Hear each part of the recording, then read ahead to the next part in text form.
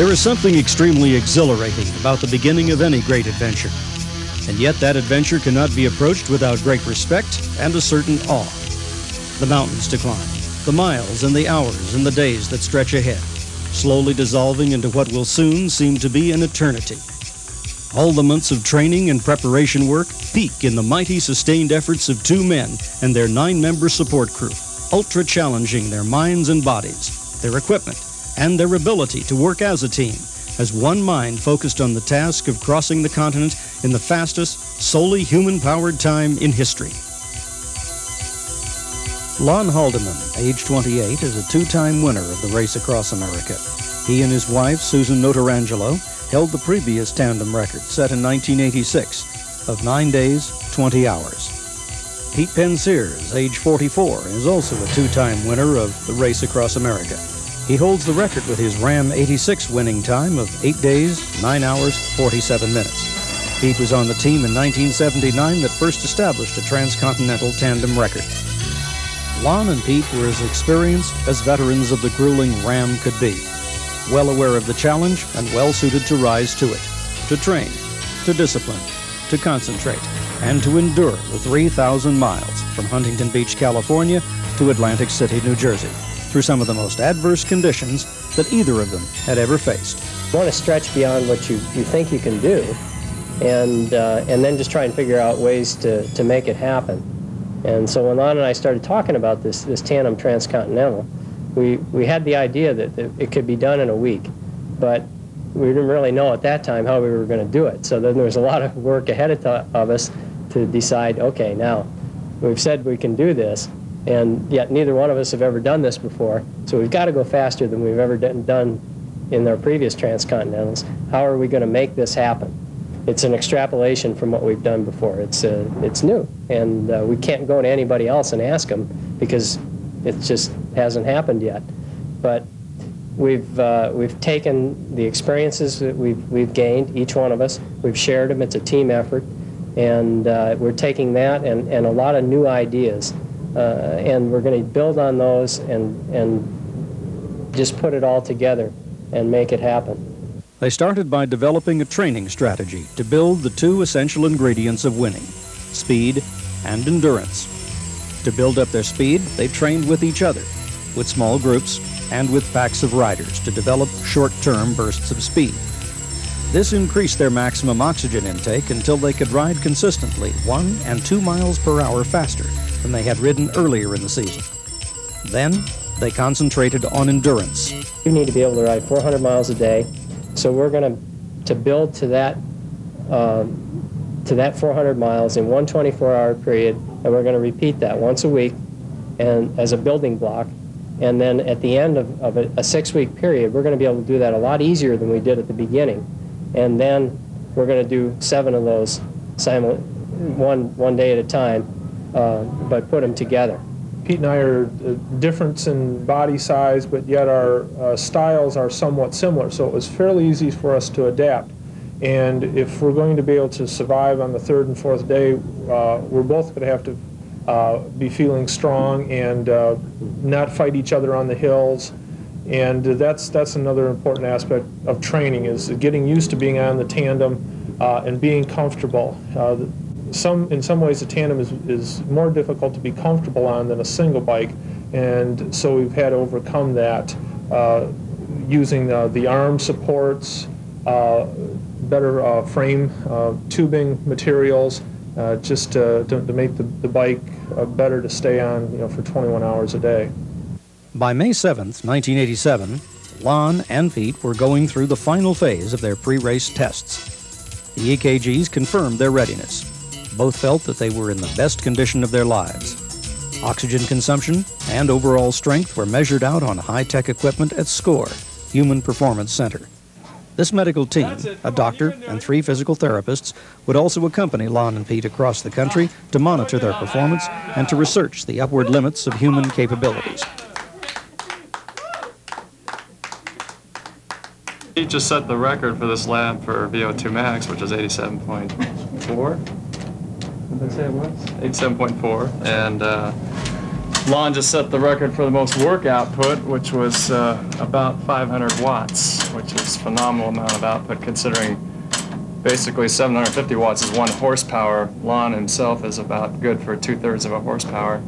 Add Pete's horsepower and you got well over one and one and two tenths, one and three tenths horsepower. So they're going to be very fast on this attempt.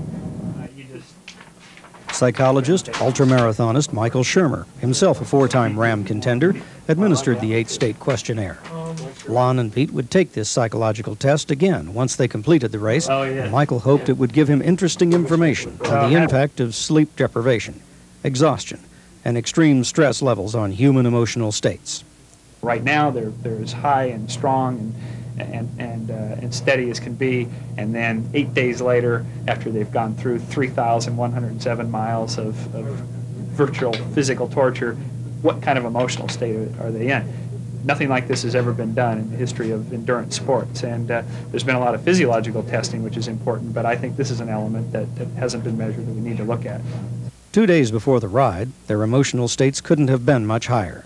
They had taken every measure they could think of to increase their all-around efficiency and to cut down on wind resistance. These final hours were not without some anxiety, however. Two days before, it had become apparent that one of the bicycles would need to be modified, and it was shipped off immediately. Raleigh Cycle Company's response was swift, and by late afternoon, May 8th, 12 hours before the event, the bike was back and being assembled by the crew. Their tandems were custom-built prototypes by Raleigh, lightweight, aluminum tubing by Easton, covered by a carbon fiber wrap, and then coated with Kevlar for protection and added strength. The bikes were lightweight, 38 pounds, yet strong and resilient. Comfortable to ride, yet stiff enough to prevent side-to-side sway. Disc wheels perfected by Steve Head would reduce the wind resistance normally associated with spokes. Crosswinds would prevent their use, but otherwise they were expected to add another one or two miles per hour to their speed. The smooth, treadless Avocet tires were designed for high performance. These tires can be pressurized to as high as 140 pounds per square inch to further reduce rolling resistance. Avocet cyclometers were installed on both front and rear. They were equipped with lights so that Lon and Pete could monitor their speed at night after they had lost the daytime visual stimulation necessary to maintain their pace. Union Lighting supplied the lights for the bikes for added safety and visibility, and also to make the bikes legal on the road. One of the newest innovations, hydraulic brakes designed by Bill Mathauser, gave them greater stopping power. Now they could make their downhill runs faster and with more confidence. The saddle, in a multi-day event like this, is critical. Pete prefers the Avocet Gelflex saddle, and Lon, his Brooks leather saddle, adequately broken in, gives him enough cushion to stay on the bike 22 hours a day. An independent rear stem assembly by Merlin Metal Works would allow them to change their handlebars quickly to the arm supports. Shimano Biopace gearing with three chain rings in the front, associated with seven cogs in the back, gave them a 21 speed bicycle. A special cleat on the bottom of the shoe clips around the Aerolite pedal, minimizing weight while giving a high degree of efficiency while pedaling. The Shimano SIS system derailleurs have a distinct click for each gear, preventing the riders from ever missing a shift and always keeping the gears in total alignment. The alloy rims are by Mistral. On the non-disc wheels, they would use 36 spoke rims weighing 300 to 350 grams. Ultra Energy, a liquid food originally developed for Pete on Ram 86, is, as Pete calls it, high performance super unleaded fuel. It is a complete food consisting mostly of carbohydrates, but also including protein in the form of basic amino acids, as well as the essential fatty acids, vitamins, and minerals. Suspension eyewear provided their glasses, uniquely designed to stay in place without putting pressure on the nose or ears. Their clothing, by Pace, needed to be both comfortable and aerodynamic. The Lycra shorts were designed with sufficient padding through the crotch area to prevent skin irritation. Their Kinco gloves were made from breathable, porous pigskin leather and had stretchable lycra backs for comfort over the long hours of use. The crew is vitally important to us, especially on a trip like this. Um, it's they keep us on the bike. They they can really improve our time by uh, minimizing every stop that we have to make. They can help us change our clothes. That when we have bike trouble, when we have flat tire, they can do quick uh, quick changes of the, the tires and wheels. They do everything for us except ride our bikes. Uh, the other thing they do is, is just the emotional support. It's, it's really important for us to have people with us that know us very well and really care for us, that they have the same goal in mind. And, uh, and it helps to have family members uh, or really good close friends. Lon and Pete combined their crews from previous years and created a nine member team of experts and transcontinental veterans they knew they could count on. Pete's team included Joanne Penseyres, the crew director and Pete's wife of 22 years. She was a seasoned veteran of five previous transcontinentals.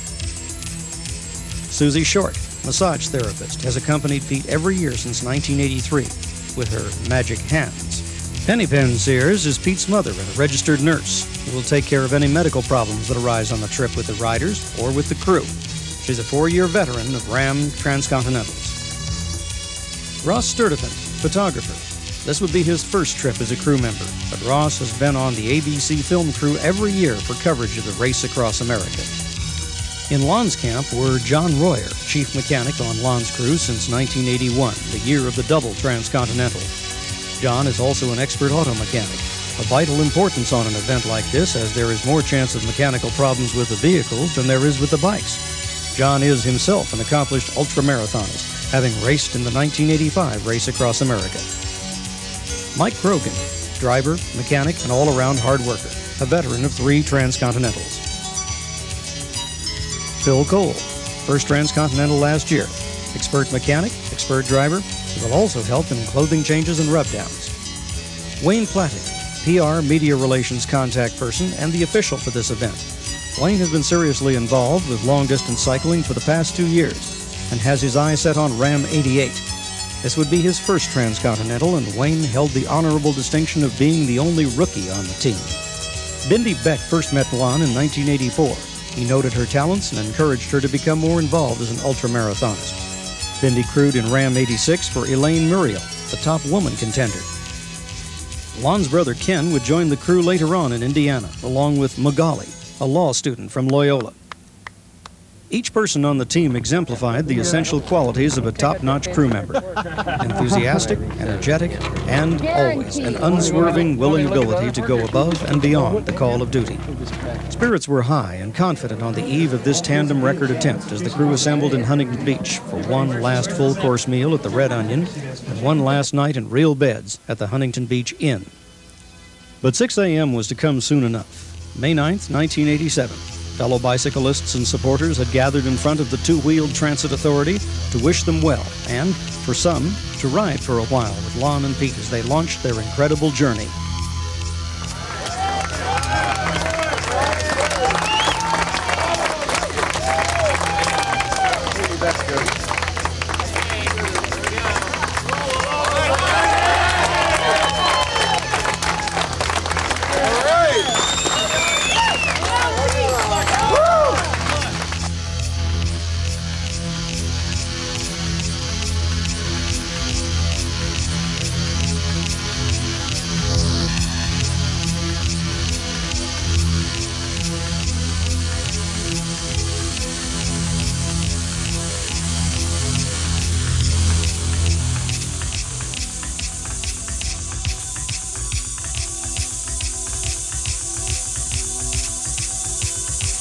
Leaving Huntington Beach, they turned eastward on a route that would take them through Flagstaff, Albuquerque, Wichita, St. Louis, Indianapolis, Dayton, Lancaster, and finally, nearly 3,000 miles later, and hopefully before 6 a.m. on May 17th, they would arrive on the boardwalk in front of the Golden Nugget Casino, Atlantic City, New Jersey.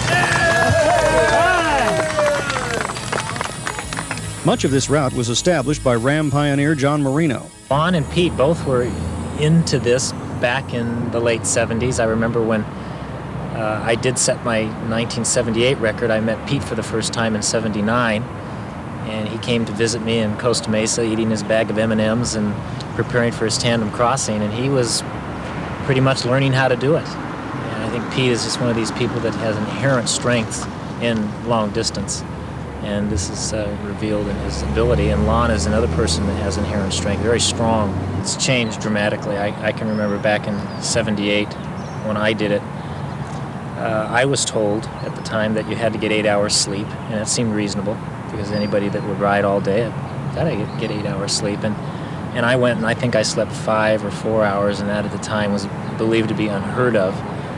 And I remember I went through a, a stress test at the UCLA Medical Center, and they thought that I was some sort of a Superman. And I disappointed everybody because I wasn't. I was just a regular person. And so since the Race Across America started, uh, and it, it, opened up the event to competition and brought in the best athletes. Uh, it's incredible what's happening. Technology is taking over. You're getting pe people like Pete and Lon that are uh, uh using scientific uh, training methods, uh, testing their bodies, the liquid diet, the technology with the bicycles, and that's why the times are, are remarkable. You know, eight-day crossing uh, if you would have asked me about an eight-day crossing back in 78, I would have said that's just impossible. It took you how long? It took me 13 days in 78, and 12 days in, in 1980, and uh, I still would have thought that, that eight days would have been impossible. But it's uh, possibly, these, these two will do it uh, in less than eight and seven. Leaving the West Coast behind, Lon and Pete forged on ahead, alone now except for two riders, one of whom was Rob Templin, Pete's 1979 tandem partner. Rob would ride with them to the Arizona border with his girlfriend as a one-woman support crew. Pete and I have been riding a tandem together for a long time, and this was, I think, his opportunity to to uh, set a pretty impressive record with Lon. Lon's done pretty well, obviously, on cross-country record attempts. I think they're going to do real well.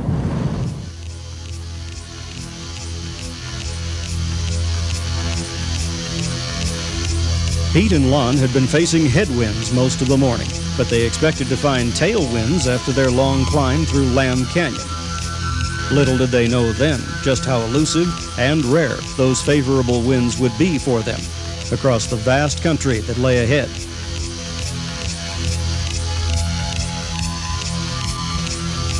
Near Palm Springs, they turned from their route along Interstate 10 and headed north and east on Route 62 toward Morongo Valley and Joshua Tree. 29 Palms in the Sheephole Mountains to eventually link up with Interstate 40, which would take them all the way to Tucumcari, New Mexico. Near Amboy, across dry Bristol Lake, the medical team set up to run their first series of tests. Very shortly, we'll be having these masks put on their face. They'll breathe into this. We'll hook this hose up to them and record about a half an hour's worth of data on each rider. We'll do that probably two or three times a day, each day for the next seven or so days.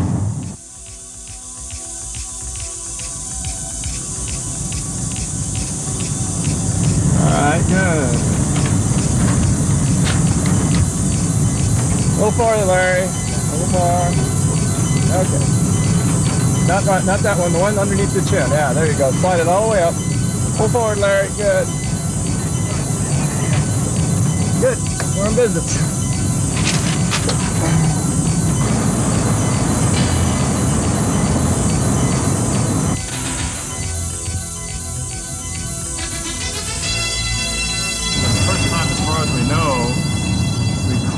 Their level of energy expenditure in terms of oxygen uptake while they're actually riding in a variety of conditions, level ground, uphill, in headwinds, hot weather, cold weather, daytime, nighttime, and so forth, to establish as a, on a day-by-day -day basis in this Trans-America attempt how much energy do they expend.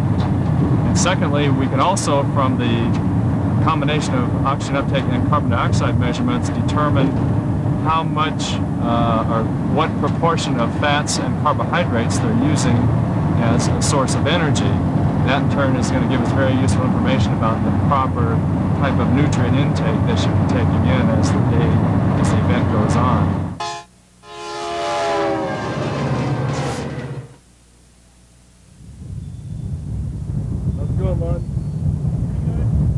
Not quite keeping up with the train.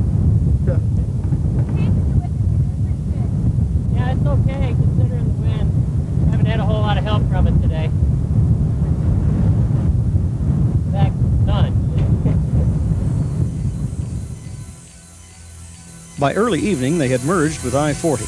They had made good time in spite of the wind, but ahead they would be facing a long, cold, and sleepless night. Their plan was to go this first 48 hours of their trip without sleep, and hopefully they would be somewhere close to Albuquerque before they took a break.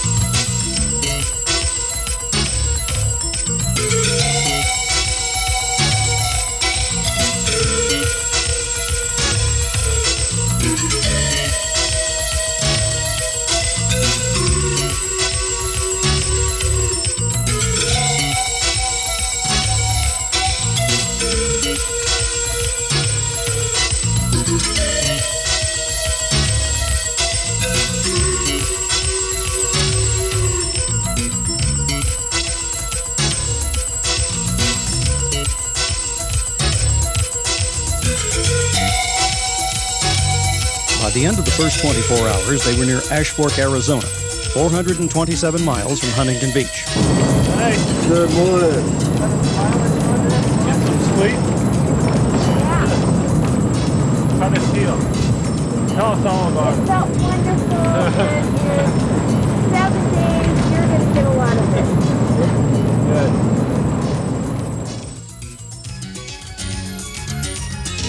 Dr. Robert Breedlove from the medical team got out and rode alongside, while the rest of the team prepared to greet Lon and Pete's morning with more tests.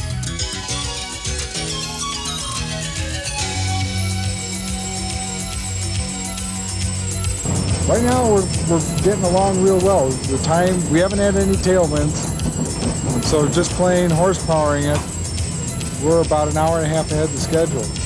So getting into Flagstaff, so we're real happy with that.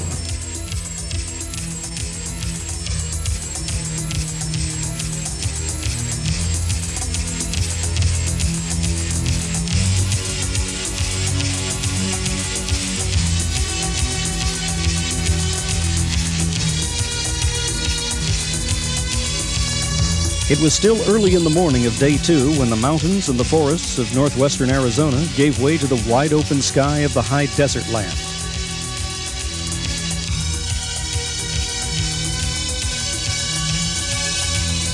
With its thunderstorms and finally a little tailwind.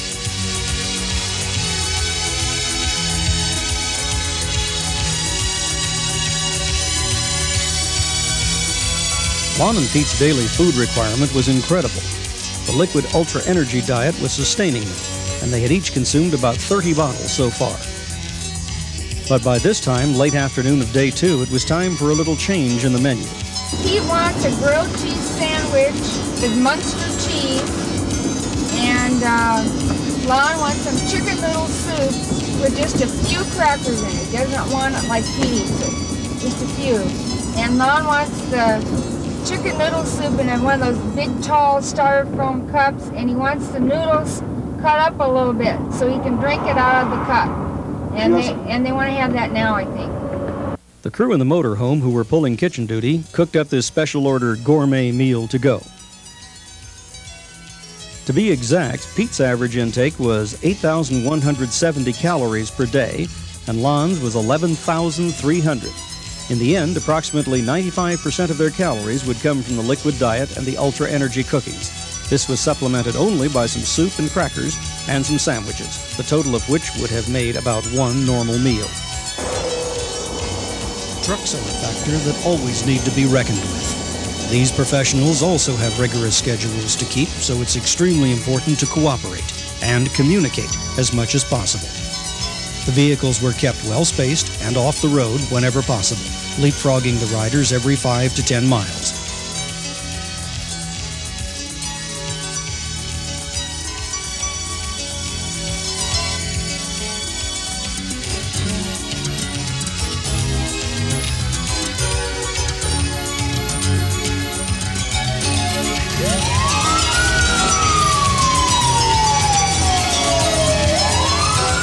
Police escort awaited them that night in Gallup, New Mexico, and gave them a little boost in facing the long, dark road to Albuquerque. They know how to make you feel important in this town. They even arranged a fantastic thunderstorm for us. As they left Gallup, they passed a grim reminder of the hazards of being on the road.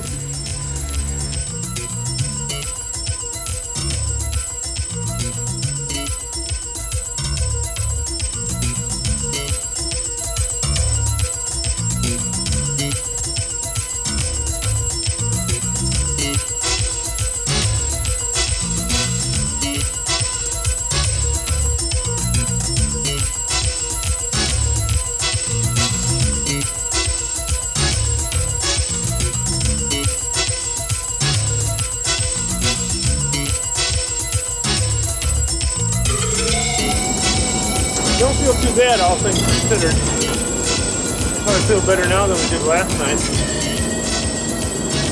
And uh, just making uh, plans with the crew, you know, what we're going to do when we go down for the sleep breaks and everything. Both of us feel pretty wide awake now, but if we if we don't get back into a sleep pattern, you know, we skip the sleep break now, uh, you know, we really can't, we don't want to get in a pattern of taking a sleep break in the middle of the afternoon. So, you know, we're going to try to get back on a schedule now where we're sleeping, you know, approximately from 4 o'clock to 6 o'clock every morning. Procedure once we get in the motorhome is take a, take a sponge bath, you know, get 800 miles of dirt off of us, and uh,